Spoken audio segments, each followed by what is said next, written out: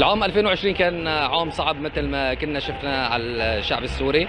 بنتمنى العام الجديد يكون كله عام سعيد فيه مفاجآت للشعب السوري ترضي الشعب. بتمنى تكون سنة 2021 سنة خير ورحمة على المجتمع على الشعب السوري بشكل عام.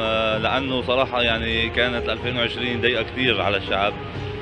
بتمنى من الله يعني يعمل خير والسلام على كل البلد. نحن مرقنا بسنة 2020 وكانت سنة صعبة كثير علينا على المواطنين بشكل عام على الصناعيين على التجار على أي المهن كلها كانت يعني مرقت سنة صعبة كثير أزمات حصار ضغط كثير كان علينا.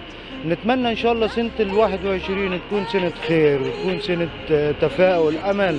للشعب يكون في مساعدة كبيرة من الحكومة من الشعب نفسه يكون يساعد بعضه من التجار إنه يكون سنة خير وسنة أمل وسنة جديدة على الكل إن شاء الله وكل عام وأنتم.